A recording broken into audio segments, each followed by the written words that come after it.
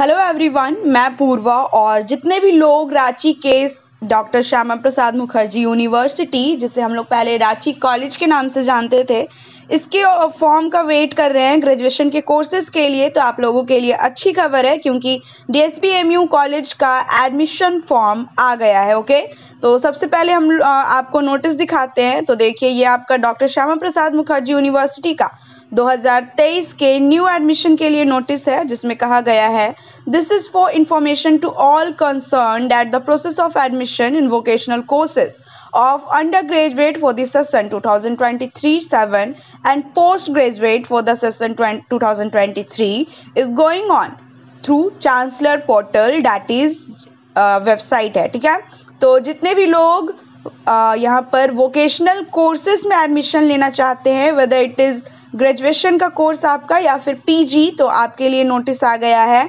तो इसके बाद के वीडियो में मैं आपको बता रही हूँ, अभी आगे इस वीडियो में कंटिन्यू करूँगी कि वोकेशनल कोर्सेस आपका यहाँ पर यूजी के लिए कौन कौन सा अवेलेबल किया गया है, साथ ही पीजी में क्या क्या दिया गया है। लेकिन उससे पहले देखिए start date of admission form filling कितना है आपका?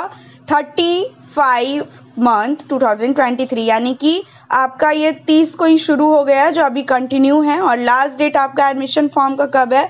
One week after the declaration of C U E T result course अगर आपने C U E T form भरा है तो अभी तो D S P M U दो तरीके से जो है एडमिशन ले रही है। सी यू ई टी के भी थ्रू भी ले रही है और डायरेक्ट खुद का कंडक्ट एंट्रेंस भी करवा रही है। और डायरेक्ट एडमिशन भी हो रहा है ओके तो आपका जब सी यू ई टी का रिज़ल्ट डिक्लेयर हो जाएगा, उसके वन वीक के बाद में आपका यहाँ पर लास्ट डेट ख़त्म हो जाएगा ओके तो चलिए अब बात करते हैं आपके यहाँ पर कौन कौन से वोकेशनल कोर्सेज आपको प्रोवाइड किए जा रहे हैं? तो वोकेशनल कोर्सेज में देखिए आपका D S P M U में फॉर दी ग्रेजुएशन कोर्स आपका B S C in computer application है, जो काफ़ी ज़्यादा क्रेज़ में में है यूथ के बीच में। उसके बाद B S C in information technology है, यानी आई टी उसके बाद इलेक्ट्रॉनिक्स है स्कूल ऑफ़ एनवायरमेंटल साइंस है माइक्रोबायोलॉजी है B S C in nano science and nano technology है। बी बी ए है आपका, जो काफ़ी लोग जो है चूज़ करते हैं। उसके बाद bachelors in programming in film making है, उसके बाद bachelors program in journalism and mass communication है, जो सेंट जेवियर्स के बाद सेकेंड नंबर पे है, अच्छी पढ़ाई होती है यहाँ पर मास कम्युनिकेशन का।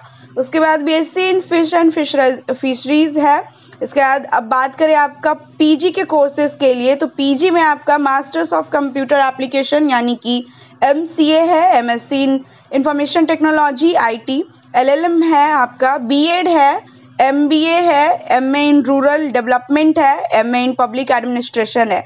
तो आई गेस मैंने आपको अभी तक जितने भी कोर्सेज बताए हैं, ये सारे काफ़ी ज़्यादा क्रेज़ में इंपॉर्टेंट और काफ़ी फ़ेमस कोर्सेज हैं, जो सारे यूनिवर्सिटीज़ में नहीं करवाए जाते हैं। तो इसका वोकेशनल कोर्सेज ये सही, सभी आपके हैं और इसके लिए आपका फॉर्म आ गया है। आपको भरना कैसे है? तो या तो आप लोग कैफ़े से भर सकते हो, या फिर देखिए यहाँ पर झारखंड यूनिवर्सिटीज़ डॉट यहाँ पर देखिए मैं आपको हाईलाइट करती हूँ।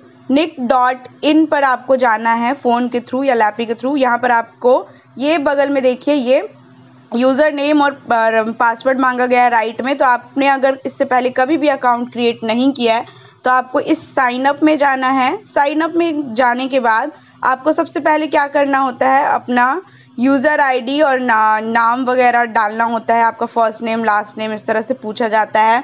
उसमें आपका फादर्स नेम एंड ऑल आपका फ़ोन नंबर मांगा जाता है देखिए और आपको फिर इधर पासवर्ड क्रिएट करना होता है कंफर्म पासवर्ड करना होता है उसके बाद कैप्चर डालकर आपको साइन अप करना होता है ओके तो साइन अप करने के बाद फिर आपको क्या करना होता है? लॉगिन करना होता है लॉगिन कर से करके इधर देखिए लेफ़्ट साइड में साइन अप एंड लॉगिन आपका फ़र्स्ट स्टेप है सेकंड स्टेप आपका इंस्ट्रक्शंस होगा जो आपको एडमिशन के लिए पढ़ना है इसमें। थर्ड आपका पर्सनल सेक्शन होगा जिसमें आपका नाम, मम्मी का नाम, पापा का नाम, आपका क्या काम करते हैं वगैरह वगैरह पूछा जाएगा। फिर आपका एड्रेस सेक्शन आएगा, आपका परमानेंट टेम्प्ररी एड्रेस वगैरह। फिर आपका अकेडमिक सेक्शन आएगा, जिसमें आपका ट्वेल्थ में कितना रिज़ल्ट था टेंथ में कितना रिज़ल्ट था, कौन से सब्जेक्ट में क्या मार्क्स थे, ये सब पूछे जाएँगे। फिर कॉलेज कोर्सेज इसमें आपको जाकर चूज़ करना होगा कि आप यूजी में एडमिशन लेना चाहते हो या फिर पीजी में आप कौन सा कोर्स सेलेक्ट करना चाहते हो। और सबसे लास्ट आपका पेमेंट का मेथड होगा, जिसमें आपको फॉर्म फिलिंग का पेमेंट करना होगा। तो जो अक्सर 500 से 700 के बीच में रहता है तो यहाँ से आपको सबसे पहले तो साइन अप कर लेना है इसके थ्रू उसके बाद यहाँ पर देखिए साइन अप के बाद क्या लिखा है? Already registered please log in year उसके बाद इस पर क्लिक करके आपको लॉग इन कर लेना है। यहाँ पर यूज़र आईडी डालना है, जो आपका ई मेल होगा, यहाँ पर पासवर्ड डालना है लॉग इन करके जो मैंने आपको स्टेप्स बताया, वो कंप्लीट कर लीजिएगा। बाकी फ़ी स्ट्रक्चर की मैं आपको इस कॉलेज का फ़ी स्ट्रक्चर का बताऊँ तो यहाँ पर क्लियर तो नहीं मेंशन किया गया है, लेकिन अलग अलग कोर्सेज के अलग अलग आपका फ़ी स्ट्रक्चर होता है। जैसे बी जे एम सी आपका यहाँ मास कम्युनिकेशन में आपका पच्चीस से तीस हज़ार, मैं एवरेज बता रही हूँ, इस तरह से लगता है। तो आपको फ़ीस तो किसी ओल्ड स्टूडेंट से पूछना होगा या फिर कॉलेज आकर पता करना होगा। तो ये अभी केवल वोकेशनल कोर्सेज के लिए, जो नॉर्मल कोर्सेज हैं, जैसे हिस्ट्री बायोलॉजी वगैरह, इसके लिए अभी फॉर्म नहीं आया है। जब भी आएगा, मैं आपको अपडेट कर दूँगी। और कुछ दिक्कत हो तो आप मेरे कमेंट बॉक्स में पूछ सकते हो। साथ ही ये कॉलेज कैसा है, किस तरह से है पिछले का पिछले बार का फ़ीस स्ट्रक्चर मैंने आप वीडियो बनाया है तो डिस्क्रिप्शन बॉक्स में ये सब का लिंक मैं डाल दे रही हूँ, आप लोग देख लीजिएगा ओके थैंक यू